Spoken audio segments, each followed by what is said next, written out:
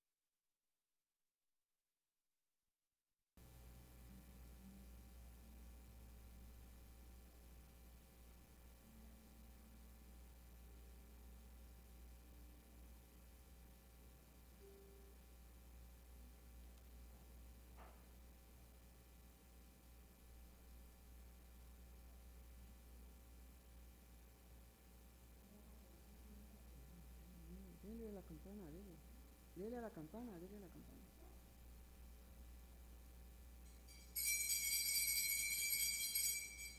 Esta es la asamblea de los que un día fuimos conducidos a las aguas del bautismo e iluminados con la luz de la fe. Esta es la reunión de los que buscan la luz, de los que quieren ver. Recibamos al Padre Giancarlos Yepes, quien preside la Santa Eucaristía.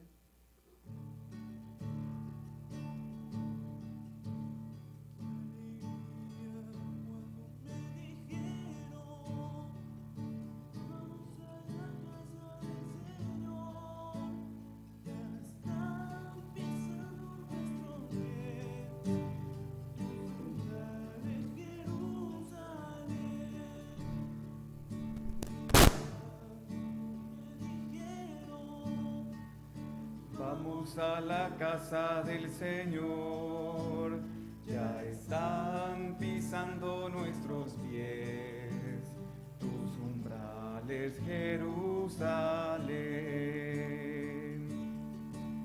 En el nombre del Padre y del Hijo y del Espíritu Santo, la gracia de Dios Padre, el amor de su Hijo Jesucristo, esté con todos ustedes.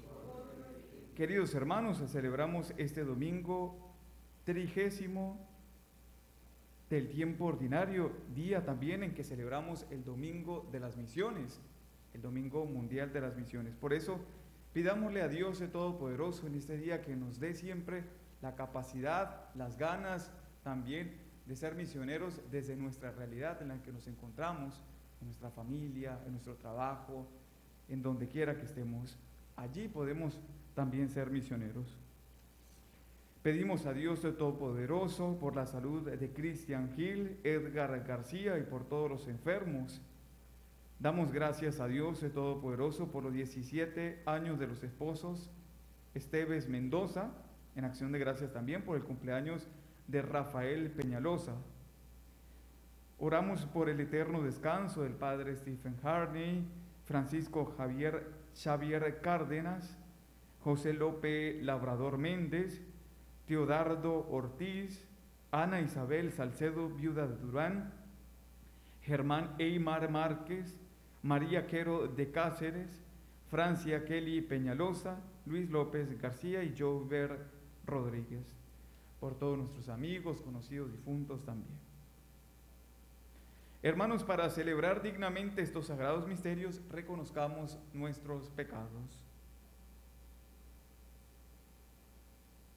Yo confieso ante Dios de Todopoderoso y ante ustedes, hermanos, que he pecado mucho de pensamiento, palabra, obra y omisión. Por mi culpa, por mi culpa, por mi gran culpa.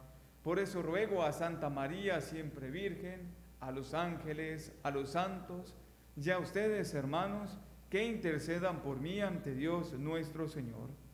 Dios Todopoderoso, tenga misericordia de nosotros, perdone nuestros pecados y nos lleve a la vida eterna.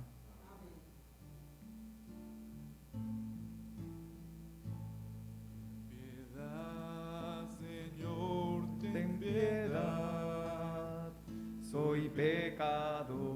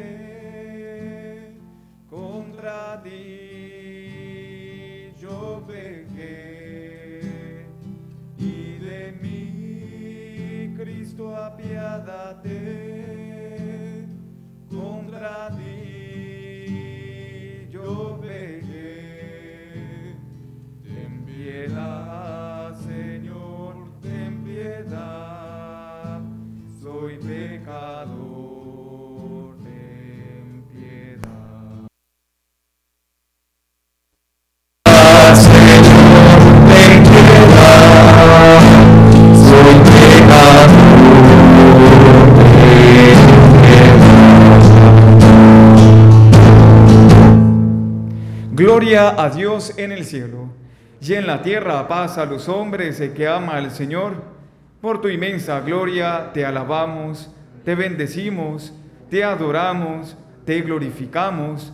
Te damos gracias, Señor Dios, Rey celestial, Dios Padre Todopoderoso, Señor Hijo único Jesucristo, Señor Dios, Cordero de Dios, Hijo del Padre. Tú que quitas el pecado del mundo, ten piedad de nosotros. Tú que quitas el pecado del mundo, atiende nuestra súplica. Tú que estás sentado a la derecha del Padre, ten piedad de nosotros. Porque solo tú eres santo, solo tú Señor, solo tú Altísimo Jesucristo, con el Espíritu Santo, en la gloria de Dios Padre. Amén. Oremos. Aumenta, Señor, en nosotros la fe, la esperanza y la caridad, para que cumplamos con amor tus mandamientos y podamos conseguir así el cielo que nos tienes prometido. Por nuestro Señor Jesucristo, tu Hijo, que contigo vive y reina en la unidad del Espíritu Santo y es Dios por los siglos de los siglos. Con alegría y mucha atención escuchamos la palabra de Dios. Lectura del libro del profeta Jeremías. Esto dice el Señor. Griten de alegría por Jacob, recocíjense por el mejor de los pueblos. Proclamen, alaben y digan, el Señor ha salvado a su pueblo, al grupo de los vivientes de Israel. He aquí que yo los hago volver del país del norte y los congrego desde los confines de la tierra. Entre ellos viven el ciego y el cojo, la mujer encinta y la que acaba de dar a luz. Retorna una gran multitud. Vienen llorando, pero yo los consolaré y los guiaré. Los llevaré, a torrentes de agua por un camino llano en el que no tropezarán, porque yo soy para Israel un padre y Efraín es mi primogénito. Palabra de Dios. Te alabamos, Señor.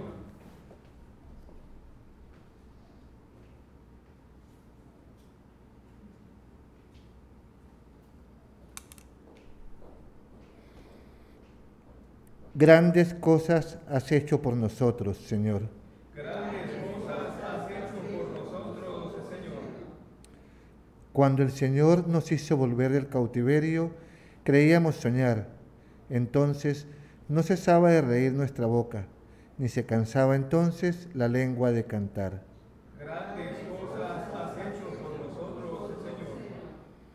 Aún los mismos paganos con asombro decían, grandes cosas ha hecho por ellos el Señor. Y estábamos alegres, pues ha hecho grandes cosas por su pueblo el Señor. Grandes cosas has hecho por nosotros, Señor. Como cambian los ríos la suerte del desierto, cambia también ahora nuestra suerte, Señor, y entre gritos de júbilo cosecharán aquellos que siembran con dolor. Grandes cosas has hecho por nosotros, Señor. Al ir iban llorando, cargando la semilla. Al regresar, cantando, vendrán con sus gavillas. Grandes cosas has hecho por nosotros, Señor.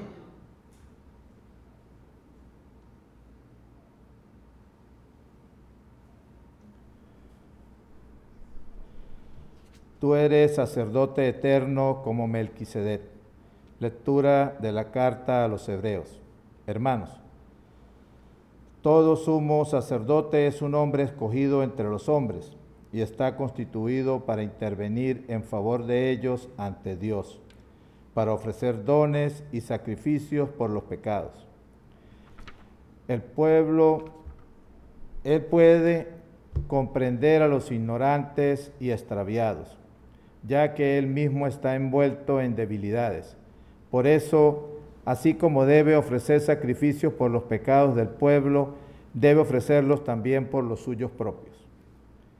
Nadie puede apropiarse ese honor, sino solo aquel que es llamado por Dios, como lo fue Aarón. De igual manera, Cristo no se confirió a sí mismo la dignidad de sumo sacerdote. Se la otorgó quien le había dicho, tú eres mi hijo, yo te he engendrado hoy. O como dice otro pasaje de la Escritura, tú eres sacerdote eterno como Melquisedec. Palabra de Dios.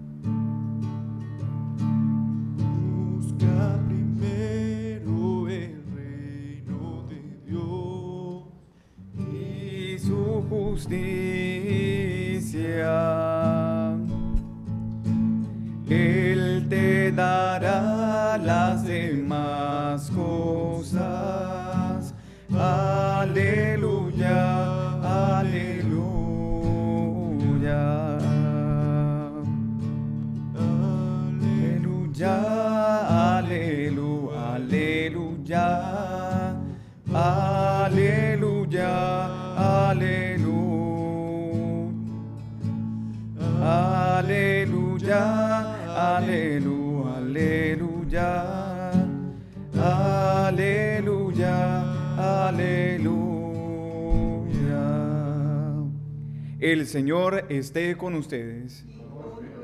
Lectura del Santo Evangelio según San Marcos.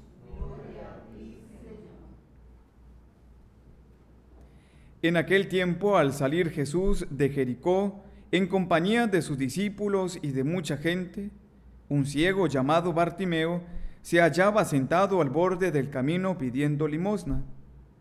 Al oír que el que pasaba era Jesús Nazareno, comenzó a gritar, Jesús, hijo de David, ten compasión de mí.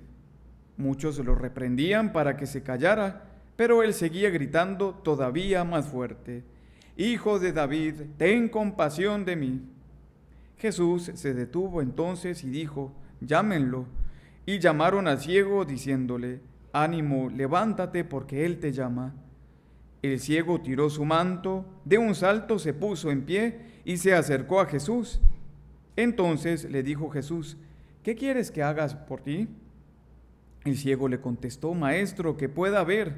Jesús le dijo, vete, tu fe te ha salvado. Al momento recobró la vista y comenzó a seguirlo por el camino. Palabra del Señor. Pueden sentar. Queridos hermanos, celebramos la semana número 30 del ciclo ordinario. Ya nos estamos acercando para cerrar este ciclo y comenzar el nuevo tiempo, el nuevo año litúrgico con el tiempo del Adviento. Vamos a pedirle al Espíritu Santo, al Espíritu de Dios que hemos recibido a través del bautismo, los dones que hemos recibido y que debemos ir fructificándolo a medida que vamos avanzando como cristianos católicos, como en nuestra vida cotidiana, que fructifique en nosotros el Espíritu, los dones que hemos recibido a través de Él. Por eso digan conmigo, ven Espíritu Santo, llena los corazones de tus fieles, enciende en ellos el fuego de tu amor envía tu espíritu de sabiduría, de inteligencia, de ciencia, de fortaleza, de piedad, de consejo, de temor de Dios, y se renovará la faz de la tierra. Amén. Pero hemos escuchado a través del Evangelio según San Marcos una expresión tan grande que podríamos decir, este es el hombre perfecto, el ser humano perfecto, en sus debilidades, en su pecado, en su enfermedad. ¿Y quién era ese, el que escuchamos nosotros? ¿Ustedes vinieron a misa? Yo creo que escucharon más los, de, los que están escuchando la radio. No puede ser. ¿Quién es el hombre que, cómo es el nombre? Bartimeo. Muy bien, no le dé miedo. ¿Cómo se llamaba? Bartimeo. ¿Y qué tenía? Era mudo. Era ciego. Era totalmente ciego. Y este hombre describe en su totalidad la fragilidad humana que tenemos nosotros. Total. Fíjense que en el Antiguo Testamento, y razón no les faltaba, en el Antiguo Testamento decían y ligaban que alguna persona que tuviese alguna enfermedad ya sea ceguera, parálisis, eh, eh, fuera sordo, fuera mudo, lo que sea, una enfermedad estaba ligado, estaba unido a un pecado. Y no solamente a un pecado personal, sino también podía ser un pecado familiar o de sus ascendentes, ¿no? Estaba ligado a eso.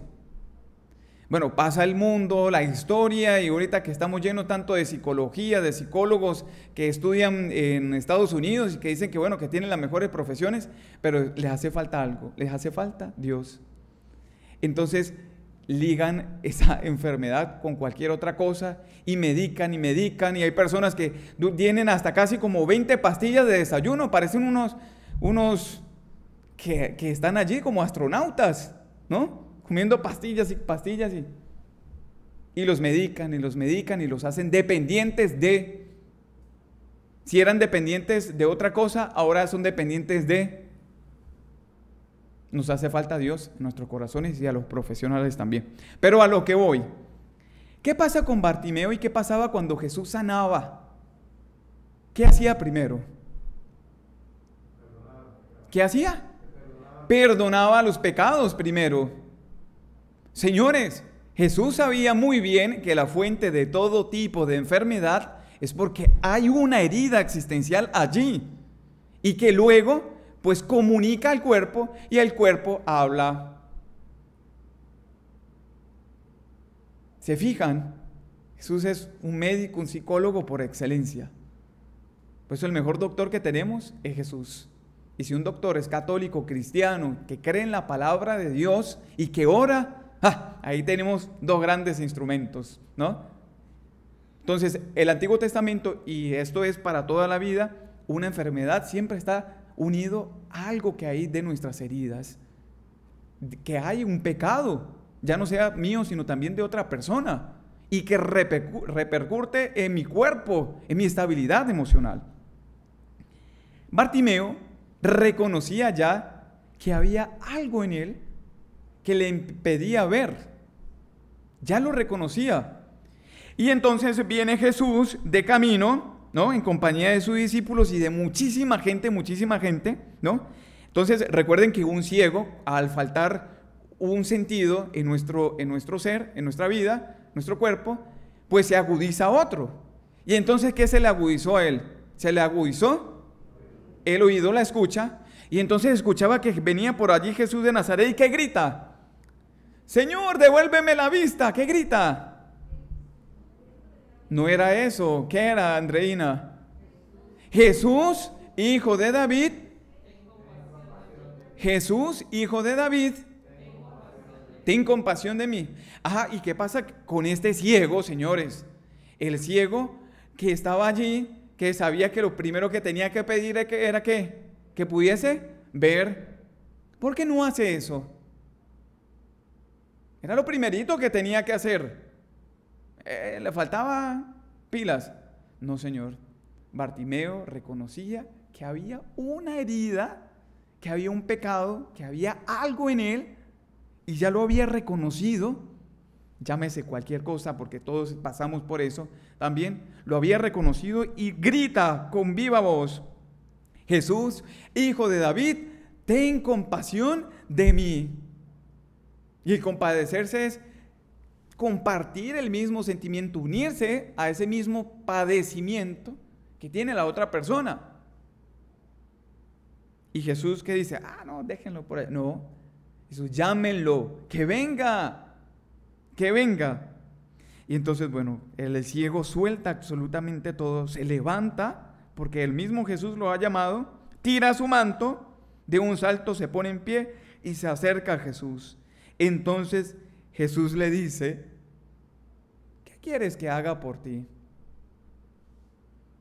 ¿Ven cómo, es nuestra, cómo debe ser nuestra relación con Jesús? Es una relación personal. Jesús no es alguien que está por allá pintado. De hecho, sí, está bonita la pintura que tenemos aquí. Ustedes casi no la ven, pero aquí en capilla tenemos esta pintura de Jesús allá en el cielo con el Padre y el Espíritu Santo. Algo así como fuera estático, como si estuviera lejano por allá. Dios es amor, Dios es personal, Dios es familiar, Dios es relación. Jesús se acerca y le pregunta, ¿qué quieres que haga por ti? Imagínense, Bueno, yo necesito una casa, necesito en dónde dormir. Bueno, necesito también una cama. Alguien, si me pueden contratar también a una señora que me colabore con la comida, porque. ¿Qué dice Bartimeo? Pues, Señor, que vea. ¿Por qué me preguntas? Es que Dios respeta la libertad de los seres humanos. La respeta. Jesús no andaba por allí en, Nazaret, en Galilea, en Jerusalén, sanando, eh, porque yo te sano, y sanando a todo el mundo sin preguntarle nada a nadie. Jesús primero pregunta para que la otra persona responda, y si la otra persona se da cuenta de su herida, dice, la persona, quiero sanar, Señor, quiero liberarme. Pero si la otra persona, si ustedes o yo, no nos damos cuenta de la herida que estamos cargando de hace tiempo y no queremos ponernos las pilas a sanar eso, y cargamos y cargamos y cargamos, pues Dios respeta nuestra libertad. Dios es así, totalmente, es así, es libertad, es amor. El ciego obviamente sabía, Bartimeo sabía que quería ver, y entonces le contestó, maestro, que pueda ver. Jesús le, le dice, ¿Qué le dice? Vete. Ajá, ¿y la vista dónde? Yo no veo nada todavía. Dice Jesús, yo no veo. El ciego dice, no veo nada. Jesús le dice, vete, tu fe te ha salvado, te ha curado, te ha recobrado la vista. Dice el evangelista, según San Marcos, que al momento recobró la vista y comenzó a seguirlo por el camino. Señores, el final de esta historia tan bonita que la vemos porque sabemos que tiene un final feliz, bello, este guion para vendérselo a los de Disney Plus, porque todo es una historia bien bonita al final, todos viven felices. El hombre comenzó a seguirlo. Todos aquellos que se han sentido sanados por el Señor, que han recibido también parte de su transformación de vida, de mente, de corazón, siguen a Jesús. Y lo siguen con un corazón libre. Ustedes, por ejemplo, los servidores que están aquí, que continuamos nosotros sirviendo en parroquias y todo eso, es porque hemos sido sanados y liberados por el Señor. Porque le conocemos y le amamos. Por eso estamos aquí siguiéndole. Por eso, queridos hermanos, pidámosle al Señor que nos ayude también a entender cuál es esa herida, como lo hizo Bartimeo, para poder clamar al Señor, Señor Jesús, Hijo de David, ten compasión de mí. ¿Y cómo podemos hacerlo? Acercándonos al sacramento de la confesión. Como dice el libro de, a los hebreos, la carta a los hebreos, que Jesús como sumo sacerdote también se compadeció y sabe que nosotros somos pecadores también, ¿no?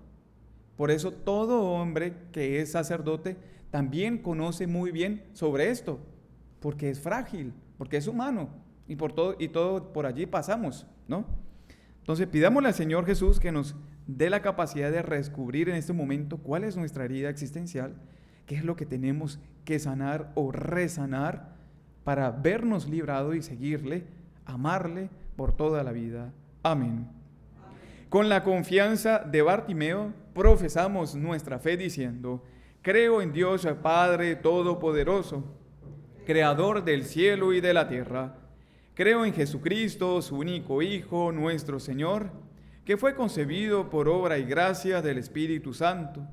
Nació de Santa María Virgen padeció bajo el poder de Poncio Pilato, fue crucificado, muerto y sepultado, descendió a los infiernos, al tercer día resucitó entre los muertos, subió a los cielos y está sentado a la derecha de Dios Padre Todopoderoso. Desde allí ha de venir a juzgar a vivos y a muertos. Creo en el Espíritu Santo, en la Santa Iglesia Católica, en la comunión de los santos, el perdón de los pecados, la resurrección de la carne y en la vida eterna. Amén. El salmista nos anima hoy a presentar con alegría nuestras necesidades a aquel que hace grandes cosas por nosotros. Confiadamente le vemos el alma en súplica al que todo lo puede y digámosle, ten compasión y escúchanos, Señor.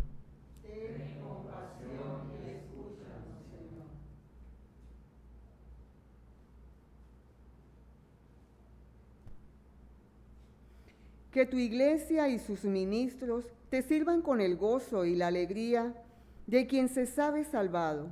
Oremos por la santidad de los fieles y el aumento y perseverancia de las vocaciones sacerdotales, religiosas y matrimoniales. Roguemos al Señor. Ten compasión y escúchanos, Señor.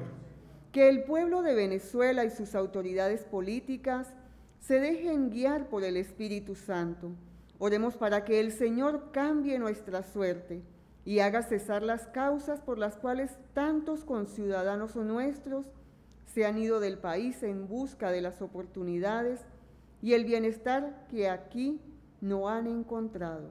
Roguemos al Señor. Ten compasión y escúchanos, Señor.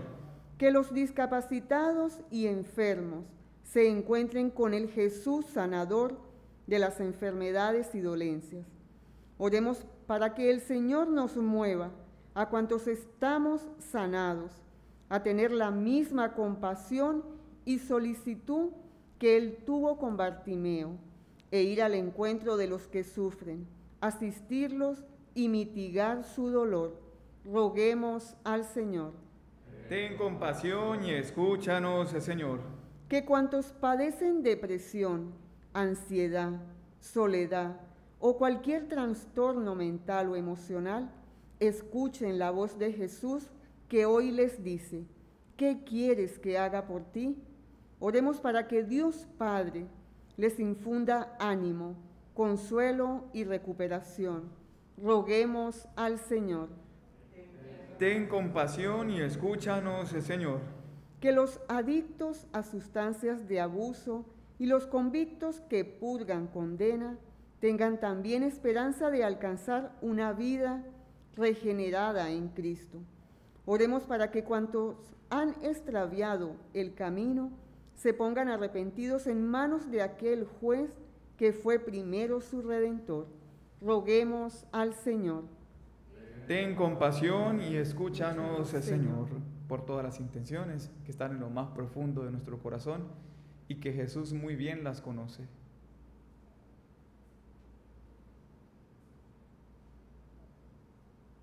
Roguemos al Señor. Ten compasión y escúchanos, Señor. Dios Padre y nuestro, luz que no conoce el ocaso, concede a, tu luz, a tus hijos estas y todas las súplicas que te presentan con sencillez de corazón. Por Jesucristo nuestro Señor.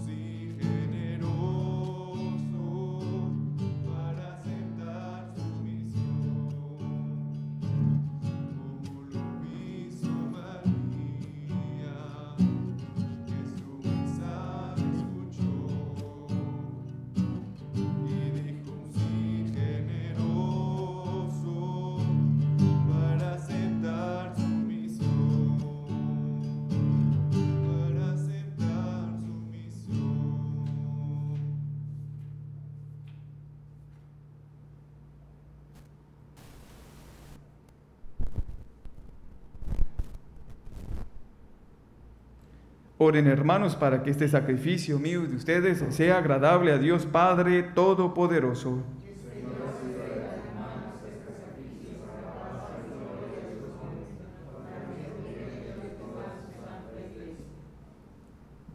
Mira, Señor, con bondad las ofrendas que te presentamos, a fin que esta celebración eucarística sea para tu gloria y alabanza, por Jesucristo nuestro Señor. El Señor esté con ustedes. Levantemos el corazón. Demos gracias al Señor nuestro Dios. En verdad es justo y necesario, es nuestro deber y salvación darte gracias siempre y en todo lugar. Señor Padre Santo, Dios Todopoderoso y Eterno, por Cristo Señor nuestro, quien por su misterio pascual realizó la obra maravillosa de llamarnos del pecado y de la muerte al honor de ser estirpe elegida, sacerdocio real, nación consagrada, pueblo de su prosperidad, para que, trasladados de las tinieblas a tu luz admirable, proclamemos ante el mundo tus maravillas. Por eso, con los ángeles y los arcángeles, cantamos para ti el himno de tu gloria.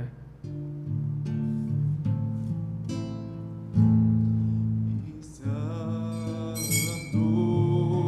Santo, santo es el Señor, Dios universo,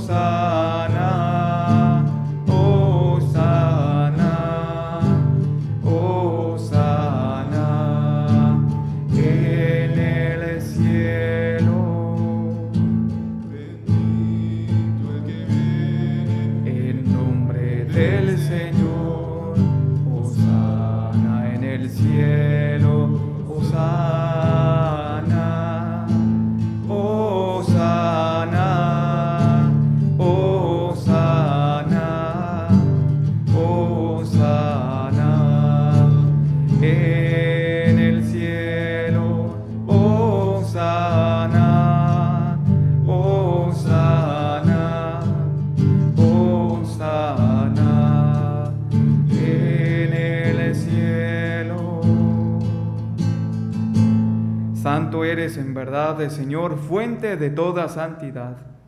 Por eso te pedimos que santifiques estos dones con la efusión de tu Espíritu, de manera que sean para nosotros cuerpo y sangre de Jesucristo nuestro Señor, el cual, cuando iba a ser entregado a su pasión voluntariamente aceptada, tomó pan, dándote gracias, lo partió y lo dio a sus discípulos, diciendo, tomen y coman todos de él, porque esto es mi cuerpo que será entregado por ustedes.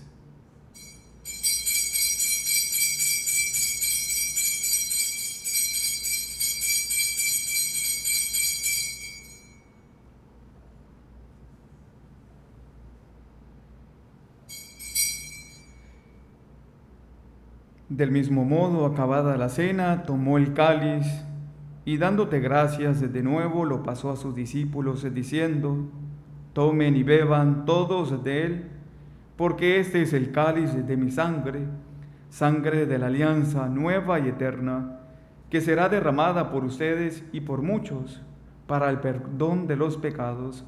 Hagan esto en conmemoración mía.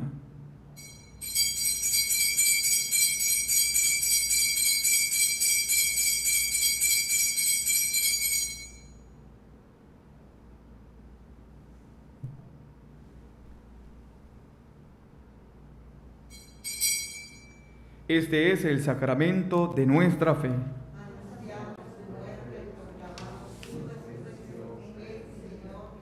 Así pues, Padre, al celebrar ahora el memorial de la muerte y resurrección de tu Hijo, te ofrecemos el pan de vida y el cáliz de salvación y te damos gracias porque nos haces dignos de servirte en tu presencia. Te pedimos humildemente que el Espíritu Santo congregue en la unidad a cuantos participamos del cuerpo y sangre de Cristo. Acuérdate, Señor, de tu iglesia extendida por la tierra y con el Papa Francisco, con nuestro obispo Mario, su obispo auxiliar Juan Alberto y todos los pastores que cuidan de tu pueblo, llévala a su perfección por la caridad. Acuérdate también de nuestros hermanos que se durmieron en la esperanza de la resurrección. Francisco, José López, Teodardo, Ana Isabel, Germán, María, Francia, Luis, Jover, y de todos los que han muerto en tu misericordia, admítelos a contemplar la luz de tu rostro. Y a cuantos vivieron en tu amistad, con María la Virgen, Madre de Dios, los apóstoles, San José, y cuantos vivieron en tu amistad a través de los tiempos, merezcamos por tu Hijo Jesucristo compartir la vida eterna y cantar tus alabanzas. Por Cristo, con Él y en Él, a ti Dios Padre Omnipotente, en la unidad del Espíritu Santo, todo honor y toda gloria, por los siglos de los siglos. Amén.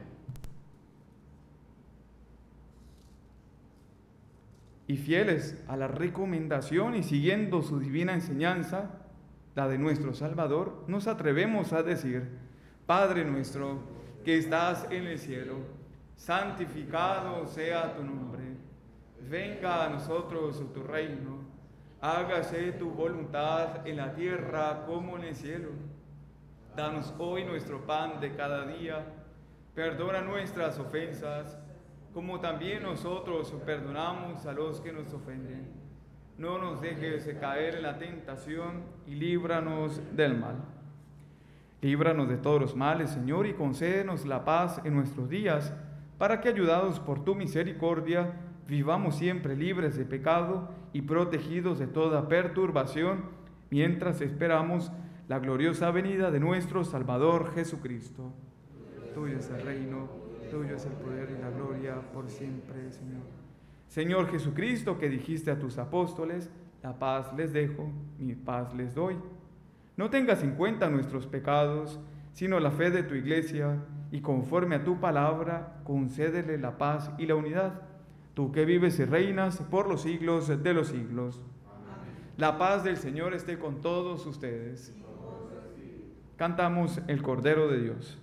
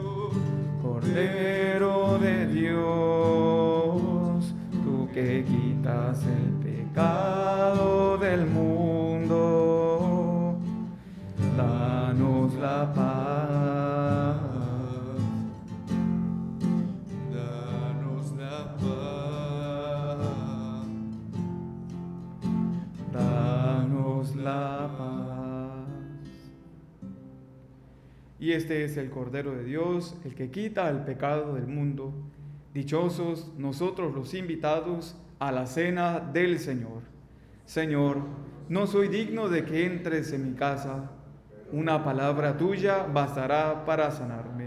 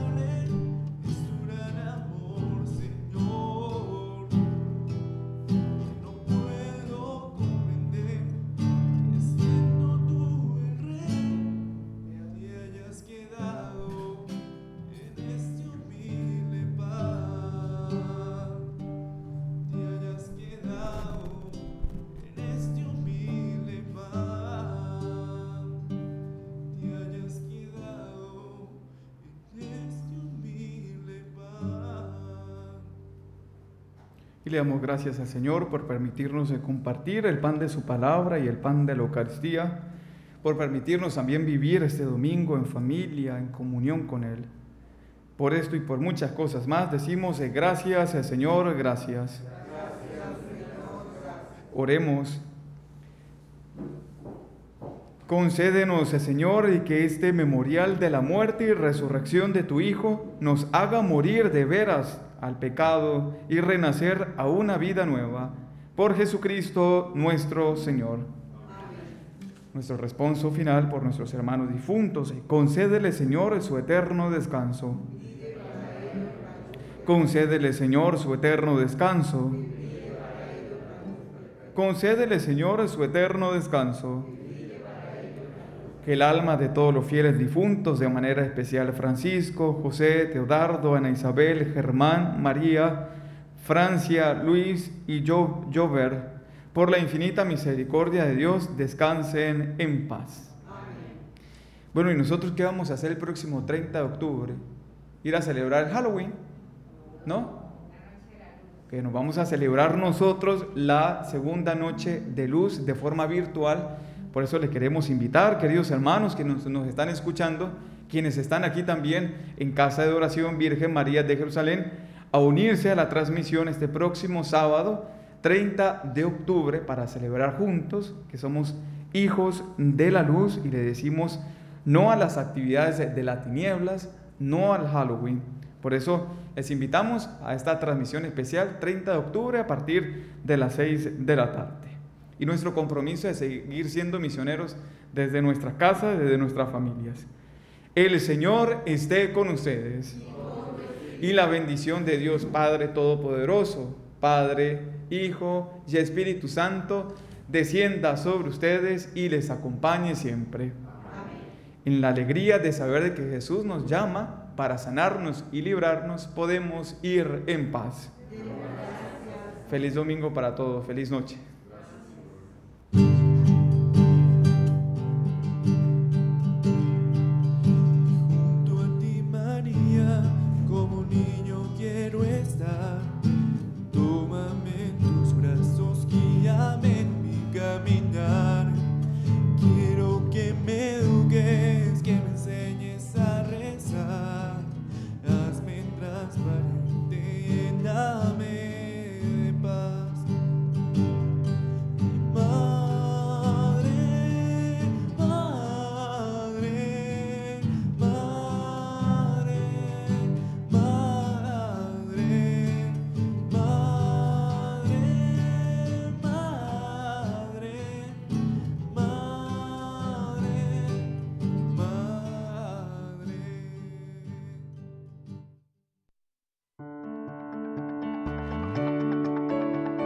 Gracias Señor, porque quisiste celebrar tu entrega en torno a una mesa con tus amigos, para que fuesen una comunidad de amor.